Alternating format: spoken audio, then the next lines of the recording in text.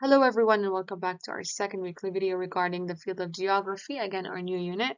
We're going to highlight the innovative tools, the contributions, the use and the importance of the innovative tools that we have in the 20th or the 21st century in contributing to the field of geography. So again, we're going to move on to the contribution of technology when it comes to the field of geography by identifying the importance of studying geography when it comes to places and environments.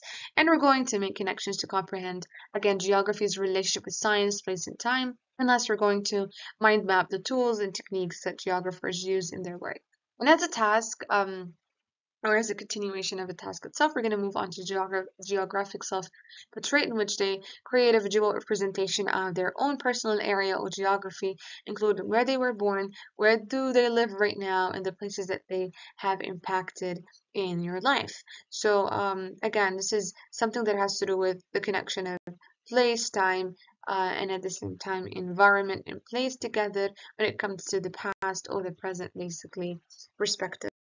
So now we're going to move on to the innovative tools that are used and have been contributing to the field of geography for a lot of years. So we have the GPS and the GIS. Again, we never talk about GPS we're talking about something that has to do with, you know, the field of geography and location-based data analysis. However, on the other hand, whenever we talk about the GIS, we talk about basically um, sophisticated digital mapping tool that can integrate, analyze, and visualize diverse data sets, geographic, uh, demographic, environmental, and even more. So as a task title, we're going to create a visual chart or table comparing actually between both innovative tools that are used and, you know, based on the primary function and applications and we're going to compare them uh, actually by the use of technology and last we're going to create a visual chart or table that summarizes the finding or your own finding regarding both innovative tools.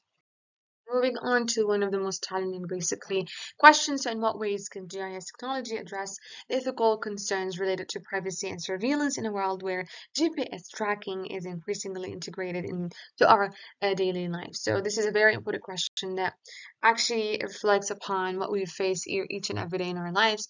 And um, in order for us to basically answer the question, we're going to gain insight and develop an understanding of the Earth's physical and human environments, including the landscapes, uh, regions and relationship between different places. We're going to acquire pra practical skills in map mind mapping, data analysis, uh, in relation to different places. And we're going to, again, um, uh, acquire practical skills in relation to geographical tools and uh, technologies in order for us to, again, to brainstorm uh, the following challenging question.